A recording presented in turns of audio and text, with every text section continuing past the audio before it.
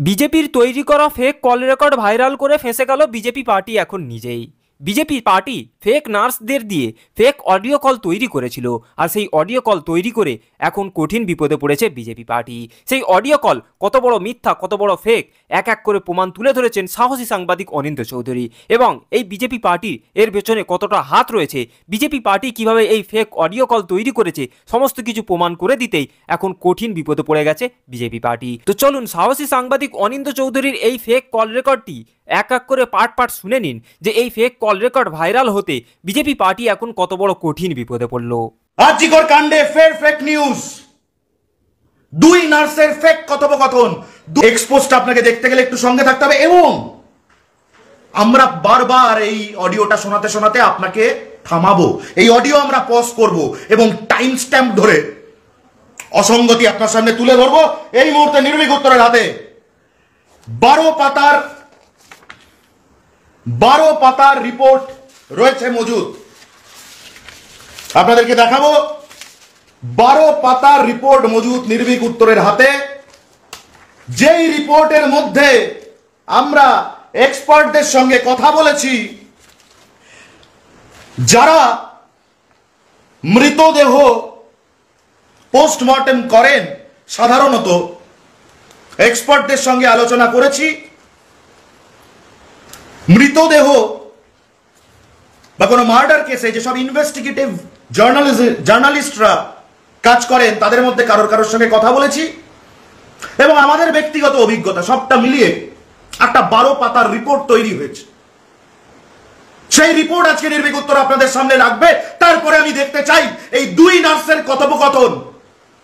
কোন অতি বড় কোট আনকোট সমাজকর্মী আপনাদেরকে কোট আনকোট গলদ্ধকরণ করাতে পারে। শুরু করছি।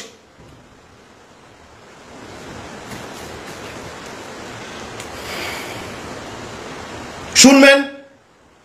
আশা করি অডিও ডিস্টার্ব হবে না। যদি শুনতে না পান জানাবেন। হ্যাঁ হ্যাঁ। হ্যাঁ তো বলো এবার। বলছি ওটা হয়েছে কি বলতো? ও দুটো অব্দি পেশেন্ট ঠিক আছে হুম রাত্রি দুটো? রাত্রি দুটো ঠিক আছে। আচ্ছা। দুটো অব্দি পেশেন্ট ডেকেছে দেখে রুমে এসে অনলাইনে অর্ডার করে চারজন বন্ধু ফার্স্ট কি বলছে? প্রথম কথা হচ্ছে দুজন নার্স বলে যাদেরকে চিহ্নিত করা হচ্ছে এবং খুব স্পেসিফিক্যালি যাদেরকে যে দুজন নার্সকে কোটান কোট আরজি করেন নার্স হিসেবে চিহ্নিত করছে। সেই দুজন আরজি করেন নার্স নাকি কোটান কোট তারা নিজেদের মধ্যে কথা বলছে এবং কথোপকথনটা শুরু হচ্ছে কোথা থেকে? কোথা থেকে বেরোচ্ছিস? ও আরজিকর থেকে। ধরুন, আপনি স্টেট ব্যাংক অফ ইন্ডিয়ায় চাকরি করেন, আর আমিও স্টেট ব্যাংক অফ ইন্ডিয়ায় চাকরি করি। সাপোজ এবার আপনার সঙ্গে আমার ফোনে কথা হচ্ছে। ফোনে কথা বলার সময় আমি আপনাকে কি জিজ্ঞেস করব? ভাই কোথায়? বা দাদা কোথায়? আপনি বলবেন, এই তো, অফিস থেকে বেরোচ্ছি, এক, বা, ব্যাংক থেকে বেরোচ্ছি। না, এই দুজন কোট কোট নার্স এনাদের যদি দাবি মানতে হয় বা এনাদের যদি সত্যি বলে মানতে হয়, তাহলে আপনি আর আমি কীভাবে কথা বলব? হ্যাঁ ভাই, কোথায়? আপনি ওপাশ থেকে উত্তর দেবেন। এই তো State Bank of India Jagaddal branch থেকে বেরোচ্ছি। আপনিও State Bank of India Jagaddal ব্রাঞ্চে চাকরি করেন, আমিও State Bank of India Jagaddal ব্রাঞ্চে চাকরি করি। কিন্তু আপনি আমাকে বলতে পারছেন না ব্যাংক থেকে বেরোচ্ছি, অফিস থেকে বেরোচ্ছি, আর কোথায় ভাই? এই বেরোলাম।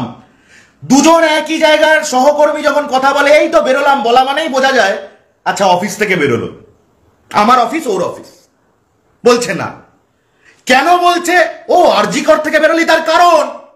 এক্সিবিট নাম্বার ওয়ান যে সকল ব্যক্তি বিশেষরা এই অডিও শুনবে, তাদেরকে ওই যেরকম বলি চোখে আঙুল দিয়ে দেখিয়ে দেওয়া, কানে আঙুল দিয়ে শুনিয়ে দিচ্ছে, আরজি কর আরজি কর আরজি কর।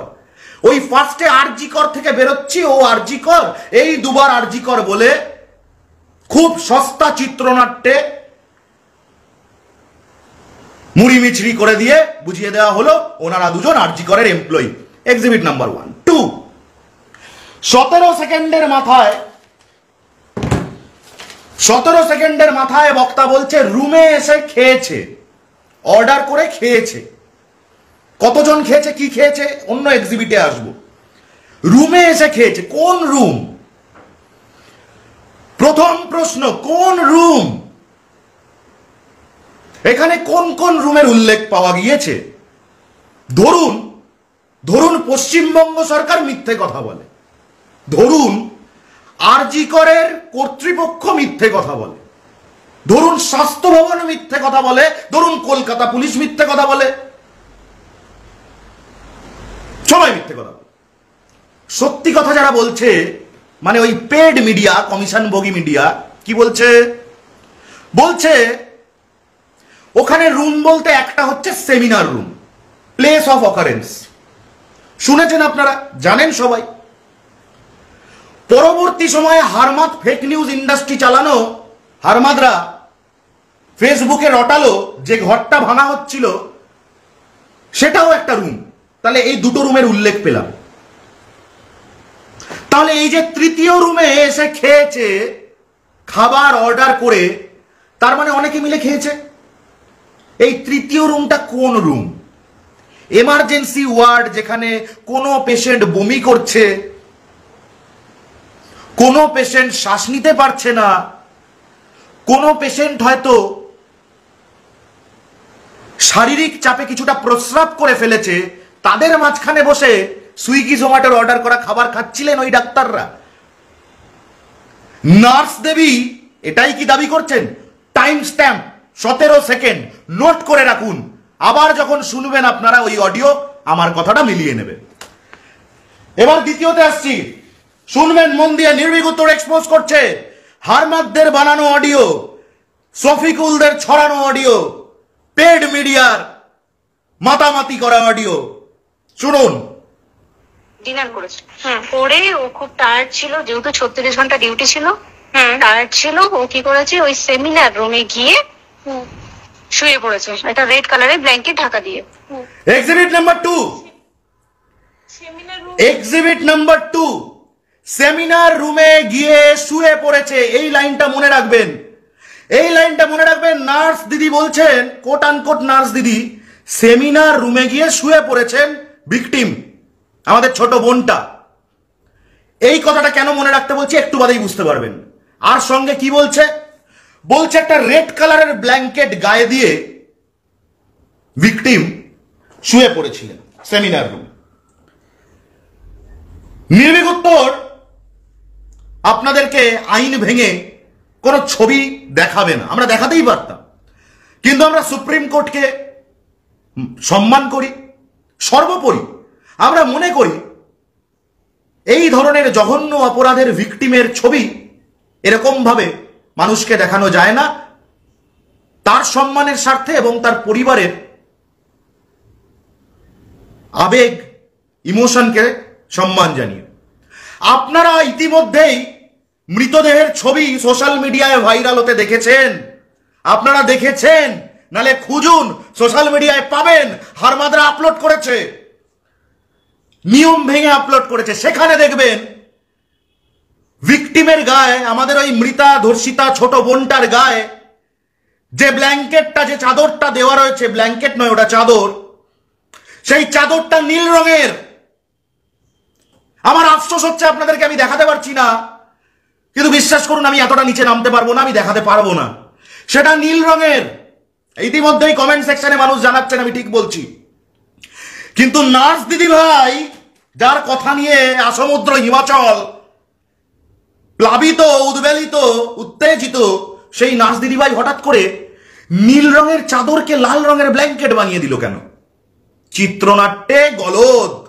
তার মানে এক্সিবিট নাম্বার টু আপনাদের সামনে ক্লিয়ার এবার শুনতে থাকুন। আমরা এগোচ্ছি পঞ্চাশ সেকেন্ডের দিকে। Your যে রুমটা তোর এখন ভাগ না এবার একটা রেসিডেন্টের ডক্টর রুমস থাকে। আচ্ছা। বুঝতে পেরেছিস? তারপরেও সেমিনার থাকে।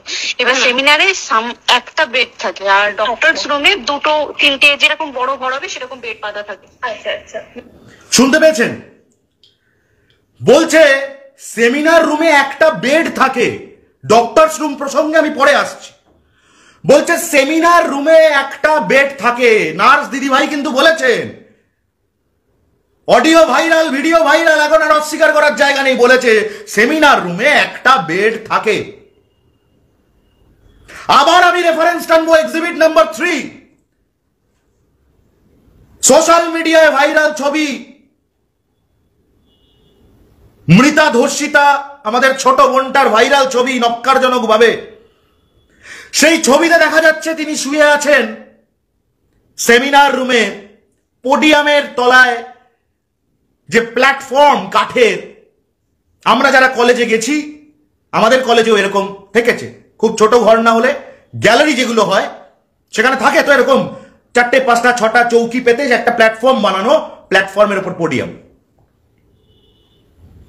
সেই প্ল্যাটফর্মের ওপর ম্যাট্রেস পেতে শোয়া ভিকটিম আরও পেছনে চলে গেলে জুনিয়র ডাক্তারদের বয়ান মিডিয়ায় আজও আছে। গুগলে খুঁজে দেখে নিন। জুনিয়র ডাক্তাররা বলেছে রাজ্য সরকারকে কাঠগড়ায় তুলতে গিয়ে বলেছে যে এত খারাপ পরিকাঠামো আমাদের শোয়ার একটা ব্যবস্থা নেই। জুনিয়র ডাক্তাররা বলেছে। বলছে, শোয়ার ব্যবস্থা নেই আমাদেরকে। সেমিনার রুমে মেঝেতে নয়, ওই প্ল্যাটফর্মের ওপর ম্যাট্রেস দিয়ে শুতে হয়। জুনিয়র ডাক্তারদের বয়ান, আরজিকর হসপিটাল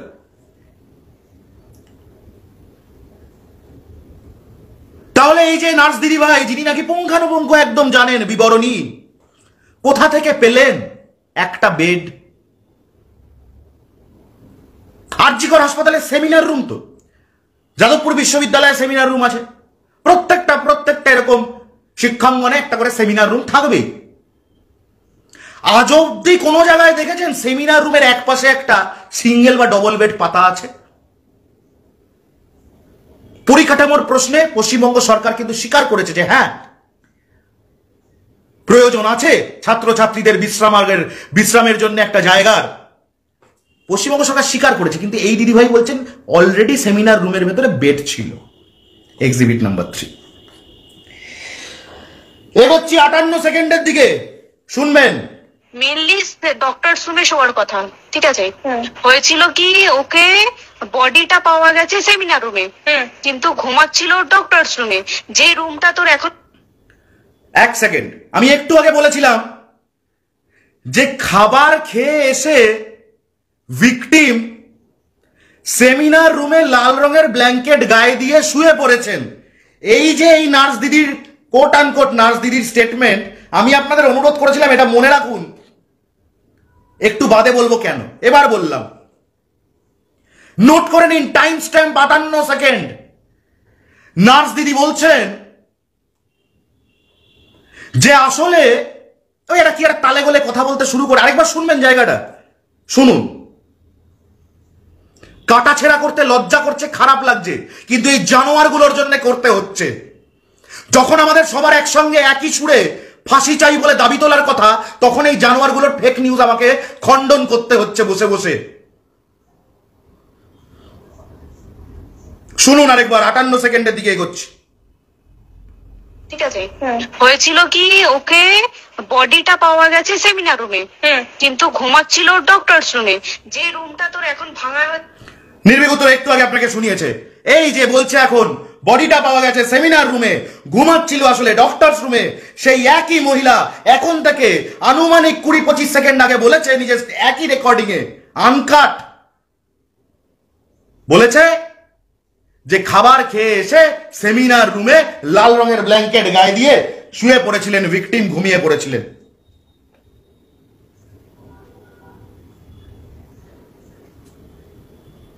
পাশাপাশি কি বলছে? আরও আরও। দেখছি দেখি দেখেছিস? রুমটা ভেঙেছে। হুম, হুম, হুম, হুম, একটা ভিডিও ঠিক বাথরুমের পাশেই। ঠিক আছে মানে বাথরুমটাকে অজুহাত দিয়ে ওই রুমের দেয়ালটা ভেঙে দিয়েছে।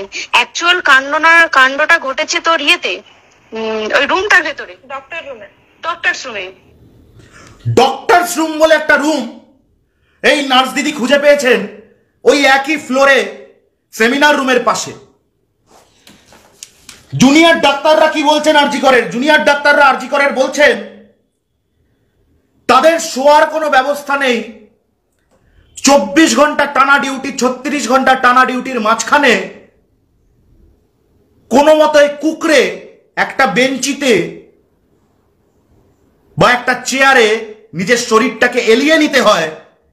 তার কারণ তাদের রেস্ট নেওয়ার জন্য আলাদা কোনো ঘর নেই, কোনো খাট নেই। কোনো বেডের ব্যবস্থা নেই। আর এই নার্স দিদি, যিনি নাকি, যারা দুজনেই কথোপকথনের দুজনেই নার্স দিদি, দুজনেই নাকি আরজি করেন নার্স দিদি, তাদের আলোচনায় উল্লিখিত হচ্ছে, সেমিনার রুমে দুটো বেড থাকে, সেমিনার রুমে একটা বেড থাকে, ডক্টরস রুমে দুটো বেড থাকে। নির্বিক উত্তরের প্রশ্ন, ডক্টরস রুমটা কোথায়? এখনও অবধি হারমাত সমর্থিত এতগুলি ক্যামেরা, মিডিয়ার ক্যামেরা পৌঁছেছে সেখানে। ভাঙচুরের জন্য যখন হারমাদ বাহিনী ঢুকে যায়, তারপরে হারমাদ বাহিনী স্টেটমেন্ট দেয় যে সেমিনার রুম হচ্ছে প্লেস অফ অকারেন্স তাই সেমিনার রুমটাকে ভেঙে গুড়িয়ে দেওয়ার জন্য তৃণমূল নাকি লোক পাঠিয়েছে। বারবার seminar room seminar room seminar তাহলে এই নার্স দিদিভাই ডক্টর রুমটা কোথা থেকে পাচ্ছেন? ওখানে তো আর কোনো রুমই নেই। এবার বলছে ডক্টরস রুমটা নাকি ভেঙে দেওয়া হচ্ছে। উত্তরের কথা বিশ্বাস করতে হবে না। মিডিয়া খুলে দেখে নিন, মিডিয়া আর্কাইভ পেপারে বেরিয়েছে, টিভিতে দেখিয়েছে। যে ঘরটায় দেওয়াল ভাঙা হচ্ছিল, সেই ঘরটায় দেওয়ালটা যে ভাঙা হচ্ছে, ভাঙা অংশ দিয়ে ঘরের ভেতরটা দেখা যাচ্ছে, একটা শুনশান ফাঁকা নোংরা পরিত্যক্ত ঘর। সেই ঘরের মধ্যে লোহার ভাড়া বাঁধা দীর্ঘদিন ধরে। কেন? সেই ঘরে দীর্ঘদিন আগে শুরু হয়েছিল রেনোভেশনের কাজ। এই যে এক মিনিট চার সেকেন্ডের মাথায় বলছে, আস- আসলে বডিটা পাওয়া গেছে সেমিনার রুমে কিন্তু ঘুমাচ্ছিল ডক্টরস রুমে যে রুমটা এখন ভাঙা হচ্ছে, হচ্ছিল। আসল ঘটনা হচ্ছে, তিরিশ সেকেন্ডের মাথায় বক্তা নিজেই বলেছে যে, নির্যাতিতা ঘুমিয়েছেন সেমিনার রুমে আবার তার এক মিনিট বাদে বলছে ঘুমিয়েছে ডক্টরস রুমে আর আমাদের প্রশ্ন হচ্ছে, যদি ওখানে কোনো ডক্টরস রুম থাকতো, যেই ডক্টরস রুমটাকে নাকি খালি করা হয়েছে, যেখানে শোয়ার ব্যবস্থা ছিল, জিনিসপত্র বার করে ভাঙাচোরা করা হয়েছে, সেই পুরো পেরিফারিটার মধ্যে সিবিআই এর একটা বিরাট দল গিয়ে সমস্ত রকম ইনভেস্টিগেশন ভেরিফিকেশন করেছে। একটা বার সিবিআই এর মুখে উল্লেখ পাওয়া গেল না যে ডক্টরস রুম বলে কোনো রুম ভাঙচুর করেছে পশ্চিমবঙ্গ সরকার। রেনোভেশনের নামে। এমন কি? আদালত যখন, মাননীয় কলকাতা হাইকোর্ট যখন রায় দিয়েছেন যে ওই রেনোভেশনের কাজ ইমিডিয়েটলি বন্ধ করতে হবে, মাননীয় হাইকোর্ট বলেছেন যে যেই ফ্লোরে এমন একটি ঘটনা ঘটেছে, সেই ফ্লোরের কোথাও এখন রেনোভেশনের কোনো কাজ করার প্রয়োজন নেই। মাননীয় হাইকোর্ট একবারও বলেননি যে যেইটা place of occurrence place of occurrence নিয়ে কোনো ধরনের ট্যাম্পারিং হয়েছে, এমন কোনো কথা মাননীয় হাইকোর্ট বলেননি। কিন্তু এই নার্স দিদিভাই, এই দুই দিদিভাই, তারা নিজেদের মধ্যে বলছেন যে প্লেস অফ অকারেন্স টেম্পার হয়ে গেছে। হাইকোর্টও জানে না, সিবিআই জানে না। আরে কলকাতা পুলিশ তো নাকি খুব খারাপ, পশ্চিমবঙ্গ সরকার তো নাকি খারাপ, তারা তো জানবেই না।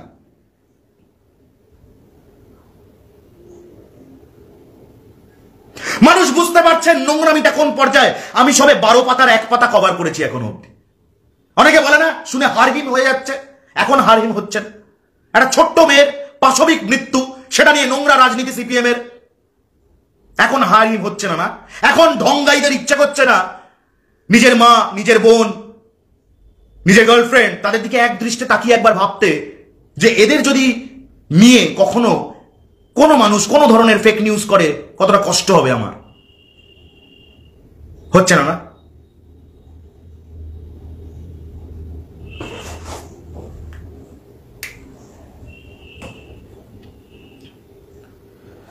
এক মিনিট ষোলো সেকেন্ডের মাথায় বলছে, বাথরুমটা অজুহাত দিয়ে ওই রুমের দেওয়ালটা ভেঙে দিয়েছে।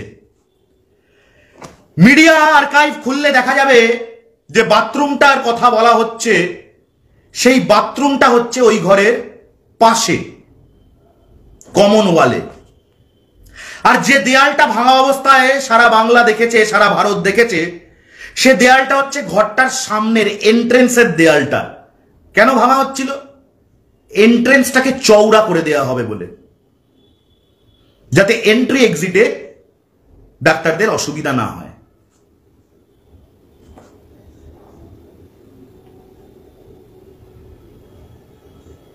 চলুন দু মিনিট সতেরো সেকেন্ডের দিকে যাওয়া যাক। ডক্টরস রুমে একটা ঘটনাটা ঘটেছে ওই ওয়ার্ড হচ্ছে কোভিড না রাতে আর চেস্ট ওয়ার্ড আর চেস্ট মেডিসিন ঠিক আছে? তো কেউ কি শুনতে পায়নি? কেউ শুনতে পায়নি? ওটাই তো আমি ওই দিনকে ওটাই ভাবছিলাম এবার দেখ ধস্তাধস্তি করাতে একটা নিশ্চয়ই চিৎকার হয় একটা ভাইলেন্ট হয়। হুম হুম। বুঝতে পেরেছিস? তারপরে আবার কি যে চারজন ওর সাথে খেয়েছে তারা কোথায়? তারা কেন মিডিয়ার সামনে আসছে না? সস্তা চিত্রনাট্যের কি কি অসুবিধা? সস্তা চিত্রনাট্যের। এই অডিও লাইভ আনকাট আপনাদেরকে শোনাচ্ছে নির্বিক উত্তর, একদম শুরুর দিকে চলে যান। রেকর্ডেড লাইভটা যখন দেখবেন তখন। এই যে নার্স দিদিভাই কোটান কোট নিজে বলেছে অডিওর শুরুর দিকে, বলছে ভিকটিম খাবার অর্ডার করেন এবং তারা চারজন মিলে একসঙ্গে খাবার খান। শুনতে পাবেন আপনি। দু মিনিট সতেরো সেকেন্ডের মাথায় ভিকটিমের বিষয়, এই নার্স ফেক নার্স, তার বক্তব্য, যে চারজনের সঙ্গে যে চারজন ওর সঙ্গে খেয়েছে, তারা কোথায়? অডিওর শুরুতে ছিল ভিকটিম প্লাস তিনজন টোটাল চারজন। দু মিনিট সতেরো সেকেন্ড অবধি পৌঁছতে পৌঁছতে হয়ে গেল ভিকটিমের সঙ্গে আরও চারজন মানে মোট পাঁচজন। আনুমানিক দেড় থেকে দু মিনিটের ফারাকে এই বিরাট পুঙ্খানুপুঙ্খ বয়ান দেওয়া নার্স চারজনের একটা গ্রুপকে পাঁচজনে পরিণত করে দিল। উনি তো সব ডিটেল জানেন। তাহলে এত বড় ভুল? ষাট জন সত্তর জনে ভুল হতে পারে। একশো, দেড়শোতে ভুল হতে পারে। কোথায় ভুল হলো? টোটাল চারজন না টোটাল পাঁচজন?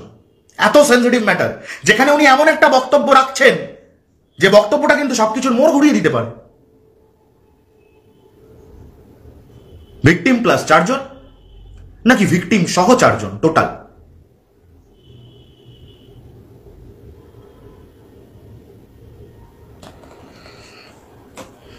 এবার সব থেকে অদ্ভুত বয়ান। তারা কেন আসছে না? একদিন ডিউটি ছিল না রাতে? ওই দিনকে আমি নাইটে ডিউটি করছিলাম। আচ্ছা। আমি নাইটে ডিউটি করে এসেছি আমার লাস্ট নাইট ছিল। তো আমার তো তিন দিন নাইট থাকে। তিন দিন নাইট থাকার পর লাস্ট নাইট ছিল লাস্ট নাইটের পর বুধবার আমার লাস্ট নাইট বুধবার রাতে ঘটনাটা ঘটেছে। আমি বাড়িতে এসেছি রীতিমতো বাড়িতে এসে নিজের মাথায় রেকর্ডিংটা আরেকবার বাজান। দু মিনিট আটত্রিশ সেকেন্ড টাইম স্ট্যাম্প বিরাট পুঙ্খানুপুঙ্খ বয়ান দেওয়া আরজি করের নাকি নার্স বলছে আমার তিন দিন নাইট থাকে। তাহলে আমার তিন দিন নাইট আমার তো দিন ভোলা সম্ভব না। ওই দিন আমার শেষ নাইট ছিল। খুব ইম্পর্টেন্ট দিন তাহলে। শেষ নাইট মনে থাকার কথা। কি বলল? বুধবার। বলে বলছে, ওই দিন রাতে ঘটনাটা ঘটেছে। বুধবার বুধবার তারিখটা ছিল সাতই অগাস্ট। ঘটনাটা ঘটেছে আটই অগস্ট, বৃহস্পতিবার রাত্রির তিনটে থেকে পাঁচটা, ভোর রাত তিনটে থেকে পাঁচটার মধ্যে। ক্যালেন্ডার ডেটে তখন অলরেডি নয় অগস্ট হয়ে গেছে। মানে ক্যালেন্ডার ডেট অনুযায়ী তখন নয় অগস্ট কিন্তু আমরা যদি দিনটা ধরি, তাহলে আটই অগস্টের শেষ রাত, ভোর রাত, তিনটে থেকে পাঁচটা।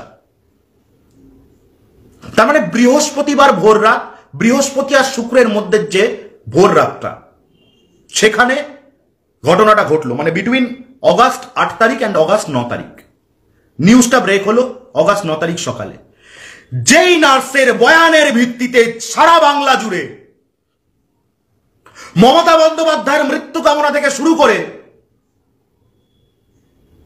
আর ভিকটিমের প্রকৃত অপরাধী আপাতত যে ধরা পড়েছে, তাকে আড়াল করার জন্যে তাকে ধনঞ্জয়ের সাথে তুলনা করছে হারমাদরা। সেই বিরাট বড় নার্স ঘটনার দিনটাই জানে না কবে ঘটনাটা ঘটেছে। এত বড় ঘটনা। আয়ুষ্মান খুরানা কবিতা পাঠ করে ফেলছে। শাহরুখ খানের মেয়ে টুইট করে ফেলছে। দুদিন আগে ভিনেশ ফোগাটরা যখন রাস্তায় মার খাচ্ছিলেন, ষোলো বছরের কুস্তিগিরের ওপর ব্রিজভূষণ, ভারতীয় জনতা পার্টির নেতা, জনপ্রতিনিধি ব্রিজভূষণ, আমার দেশের মেডেলিস্ট একজন রেসলার, ষোলো বছরের বাচ্চা, পক্সো আইনে কেস হওয়ার কথা। সেই ষোলো বছরের বাচ্চাটার কি কি করেছিল? বয়ান ক্ষমা করবেন, কিন্তু বলতে হচ্ছে তার স্তনে খারাপভাবে বারংবার স্পর্শ করেছিল।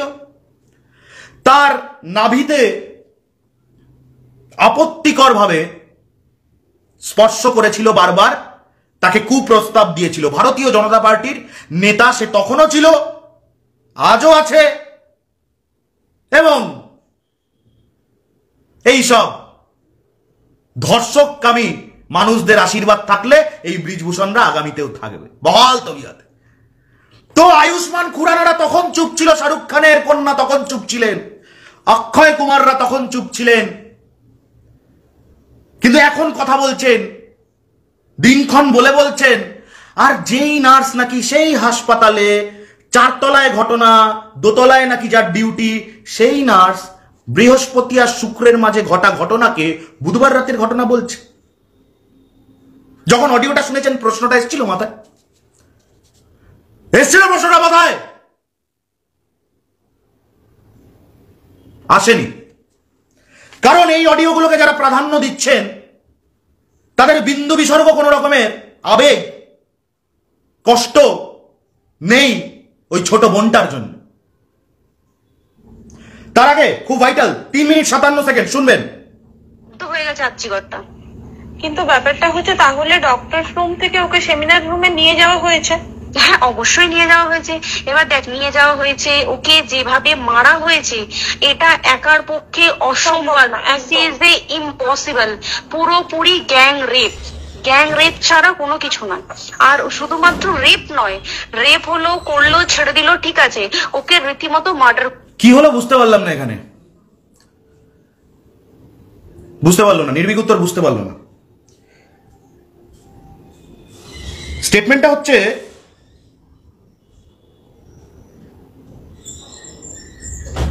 ভিকটিমের জন্য প্রাণ কাদা, আরজি করেন নাকি নার্স দিদি ভাই স্টেটমেন্ট করছে রেপ হলো, করল, ছেড়ে দিল, ঠিক আছে।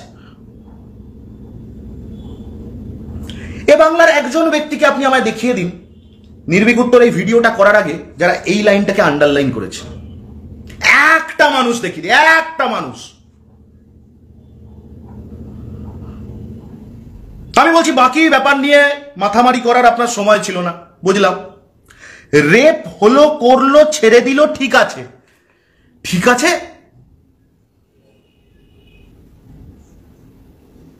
মানে রেপ, রেপের আবার মানে এতটা রেপ ঠিক আছে, এর পরের রেপ ঠিক নেই, এরকম কিছু আছে কি?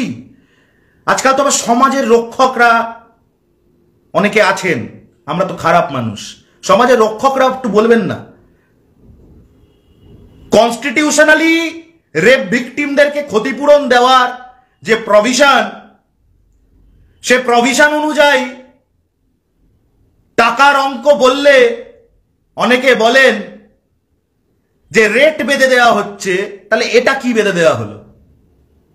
কি বেঁধে দেওয়া হলো? কোয়ান্টিটি রেপ হলো, করল, ছেড়ে দিল, ঠিক আছে। ঠিক আছে?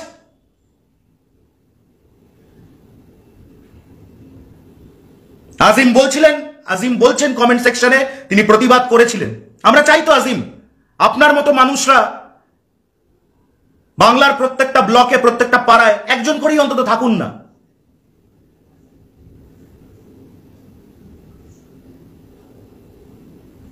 আমরা চাই ধন্যবাদ আজিম। শুনবেন সাড়ে চার মিনিটের দিকে এগোচ্ছি। মানে মানে হিসেব মতো যা বুঝছি মানে তোমার কথাতে হ্যাঁ। ওটা হচ্ছে এটা আরেক নার্স। এক্স্যাক্টলি হয় ওর বন্ধু বান্ধব কেউ ঠিক আছে মানে চারজনের মধ্যে কেউ আইদার ওকে এমন কিছু করতে বলতে দেখ বড় বড় কোম্পানিতেও তো এরকম হয় মানে হয় তুমি আমার সাথে কম্প্রোমাইজ করো নয় তুমি চাকরি ছেড়ে চলে যাও। হয় তো? এখানেও সেরকম কিছু একটা হয়েছে। যাকে যে- ক্রাইম করে টেকনিক্যালি বুঝবেন। বলছে, যারা সঙ্গে ছিল, যে মেরেছে, বড় বড় কোম্পানিতে হয়, এখানেও সেরম একটা কিছু হয়েছে। আবার সেই উদাহরণে যাই, আমি আর আপনি একই কোম্পানিতে চাকরি করি। সেখানে একটা এরকম ঘটনা ঘটেছে। আমি আর আপনি হয়তো আলাদা ডিপার্টমেন্টে আছি বাট ওই কোম্পানিতেই আছি। অন্য কোনো ডিপার্টমেন্টের কোনো মানুষের সঙ্গে, কোনো কর্মীর সঙ্গে এরকমটা হয়েছে। আমি আর আপনি আলোচনা করার সময় ভালো করে বলবেন, একবারও কি প্রপার নাউনে কথা বলব না? মানে একটু নাম নেব তো। সিনিয়রদের নাম। আমি বলছি না তাদের নামে দোষ চাপাতে, আমি সেটা বলছি না। আবার হয়তো কালকে এরকম অডিও বানিয়ে দিল। ওটা আমি বলছি না, আমি বলছি।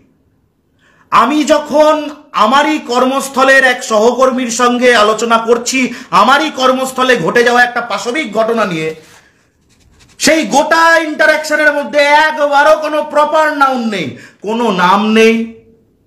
সেরকমই একটা কিছু হয়েছিল, বলতে পারতো তো?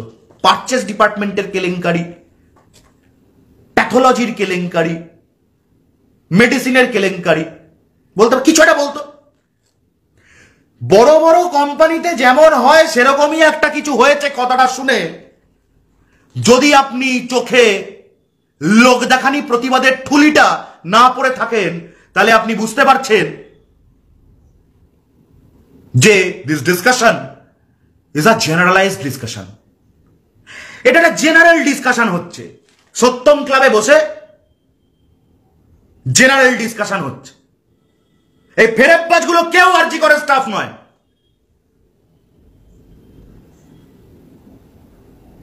এরা কেউ না আর্জি করে স্টাফ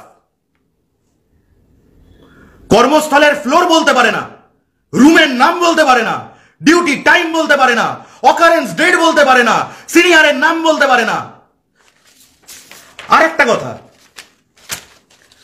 পাঁচ মিনিট, পাঁচ সেকেন্ডের মাথায় কি বলছে শুনুন। কিন্তু নর্মাল ডক্টর নয় কিন্তু। সেও একটা ভালো পোস্টে র্যাঙ্ক করছে। বুঝতে পেরেছিস? তবে দুজন চিন্তিত নারী একে অপরের সঙ্গে কথা বলছেন। কিসের এত লুকোছাপা?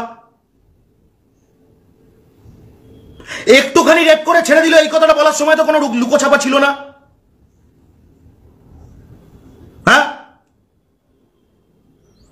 আমাদের ছোট্ট বোনটা পাশবিকভাবে যাকে হত্যা করা হলো, তাকে ভূত বলার সময় তো কোনো লুকোচাপা ছিল না।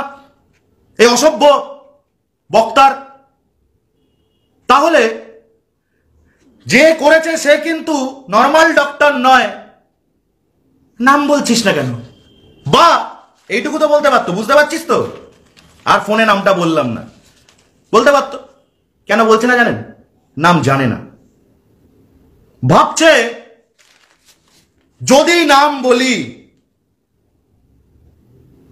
তাহলে ব্যাক ক্যালকুলেশন করে যদি কেউ বার করে নেয় যে নামটা ভুল বলেছি, তাহলে একদম অবভিয়াস হয়ে যাবে যে কল রেকর্ডিং সম্পূর্ণটাই একটা চিত্রনাট্য ভিত্তিক ফেক অডিও তাই এতটা বেশি কম্পালসিভ এতটা বেশি ইন্ডিকেটিভ একটা ভুল করা ঠিক হবে না। ওই জন্য নাম নেওয়ার দরকার নেই, ইঙ্গিত দেওয়ারও দরকার নেই। ওই একই প্রতিষ্ঠানের কর্মী হয়েও আলোচনাটা এমনভাবেই চলো আমরা করি যেন মনে হয় যে আমরা এই বাদাম মাজা খেতে খেতে ধাপার মাঠে বসে এটা আলোচনা করছি। আমরা সাধারণ মানুষ। রুদ্রনীল ঘোষের মতো সাথে পাচে থাকি না। নিজে ধর্ষণ করেছে মামলায় অভিযুক্ত, কিন্তু এখন ধর্ষণের প্রতিবাদে রাস্তায় নামছে। নিজের কর্মস্থলের মহিলাদের বলেছে, তুমি গোপনাঙ্গ, কি দিয়ে সেভ করো? ভিকটিমের কল রেকর্ডিং স্টেটমেন্ট নির্বিক উত্তর চালিয়েছিল, আপনারা শুনেছেন।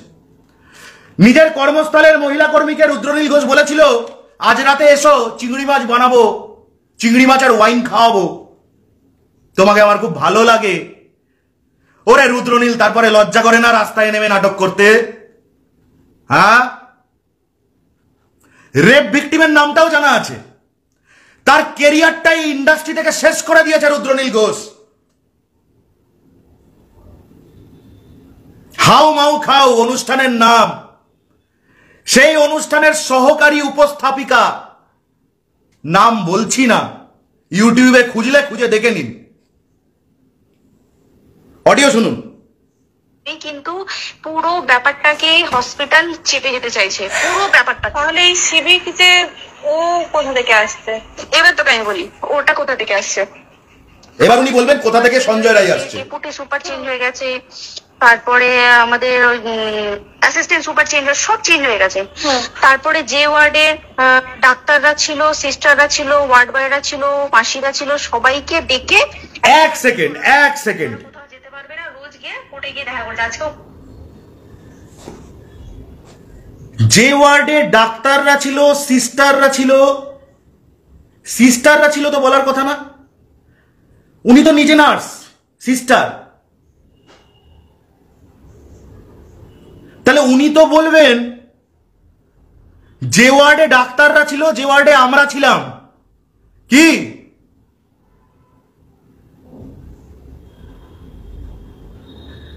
নিজে নার্স হয়ে টেস্টিমনি দিচ্ছে, বয়ানে বলছে, যে ওয়ার্ডে ডাক্তাররা ছিল সিস্টাররা ছিল, হেন ছিল, তেন ছিল। তুই তো নিজে সিস্টার তাহলে বললি না কেন যে ওয়ার্ডে ডাক্তাররা ছিল, আমরা ছিলাম, হেন ছিল, তেন ছিল? আসলে, ভুলে গেছে। মাথা তো ঝামা। লাল ডায়েরি পড়তে গিয়ে আর হারমাদেই পনার হ্যান্ডবুক পড়তে গিয়ে পড়াশোনাটা তো হয়নি ঠিক করে। আলিমুদ্দিনের ব্রেন ওয়াশে হালকা হালকা গ্রে ম্যাটারও ওয়াশ হয়ে গেছে। নিজেই সিস্টার সিস্টার আবার অন্যকে বলছে সিস্টার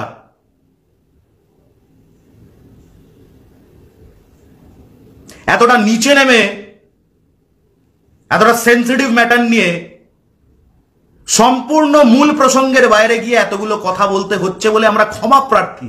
কিন্তু আমরা ক্ষমা প্রার্থী শুধুমাত্র ওই বোনটার কাছে। আর কারোর কাছে না। বাকি সব রাজনীতি করছে।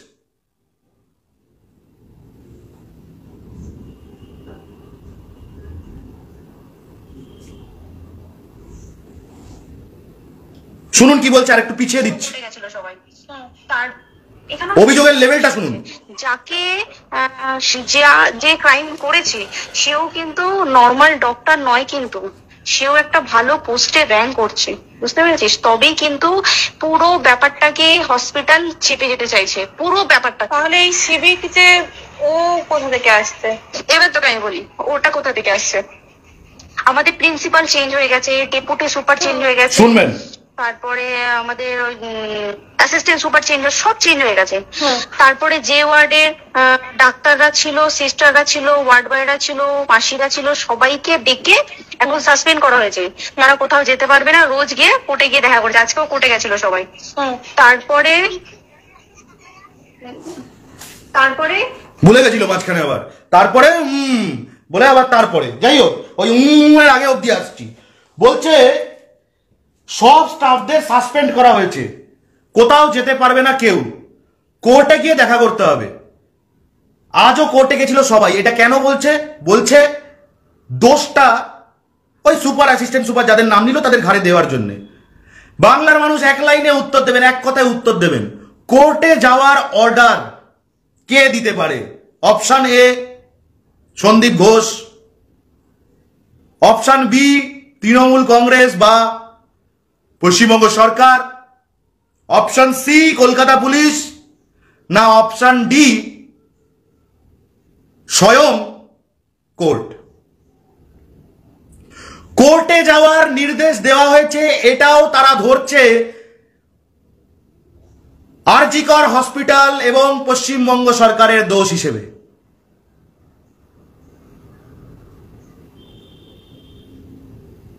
মানে মমতা বন্দ্যোপাধ্যায় যেন বা বিনীত গোয়েল সাহেব, মাননীয় কমিশনার অফ পুলিশ কলকাতা, তিনি যেন এই অর্ডার দিয়েছেন যে শোনো, তোমরা সবাই সাসপেন্ডেড কোর্টে যেতে হবে।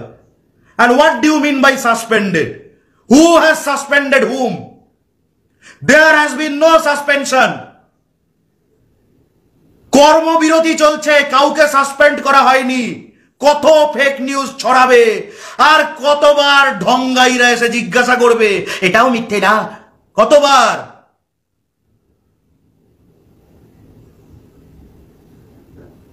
মিটি মিটি অভিনয়, খুব মজা। গিয়ে করো উত্তরপ্রদেশে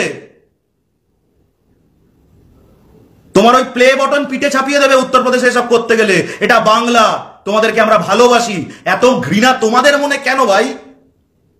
আমরা তো গর্ব করি। এই ছেলেগুলোকে নিয়ে, এই ব্লগারদেরকে নিয়ে যে কত সারাদিন এন্টারটেন করে, নিজের গাটের করি খরচা করে কন্টেন্ট বানায়, তারপরে যদি সে ভালো ইনকাম করে, করুক না, কি আছে? আমরা খুশি। তোমাদের মনে এত কিসের ঘৃণা? এত কিসের জমিয়ে রেখেছো? কাদা মাটি, ময়লা?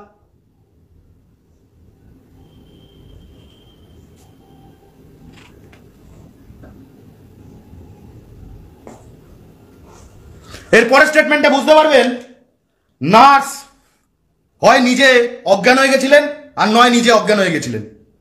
শুনুন। তোর এগুলো হলো? তারপরে তোর কি বলে? আরে বল না। তারপর তোর কি বলে? এটা হচ্ছে কি? মানে ও সেই সঞ্জয় রায় যে ধরা পড়েছে অ্যাকচুয়াল কিন্তু ও নেই। বাহ! ঠিক আছে? ওর এতটা ক্ষমতাই হয় না। ও অত রাত্রে কি করতে যাবে? ও অত রাত্রে ওখানে কি করতে যাবে? ও না এখানে আমার কোনো অ্যান্টি ন্যারেটিভ কোনো টেস্টিমনি কিচ্ছু দেওয়ার প্রয়োজন নেই। কলকাতা পুলিশ কি বলেছে? কিসের ভিত্তিতে সঞ্জয় অ্যারেস্টেড দুটো। একটা হচ্ছে scientific evidence retrieval of Bluetooth headset which has been justified and confirm by the CCTV footage available at the RG Kar hospital which has already been submitted in front of the magistrate and been handed over to the CBI team also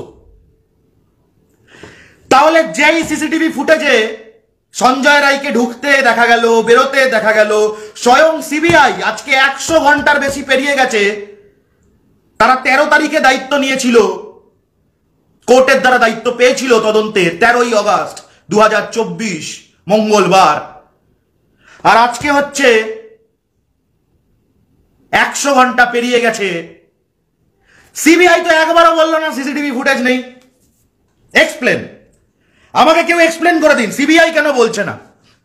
তাহলে সিবিআইও কি কলকাতা পুলিশের সাথে হাত মিলিয়েছে quote unquote নাকি CBI কেও মমতা বন্দ্যোপাধ্যায় বা পশ্চিমবঙ্গ সরকার চালাচ্ছেন কোট আন কোট একটা অডিওর কত নোংরা মানসিকতা ষড়যন্ত্র দেখুন। যেই জানোয়ারটা আমাদের ওই ছোট্ট বোনটাকে এরকম পাশবিকভাবে হত্যা করল ধর্ষণ করে তার চোখ ফাটিয়ে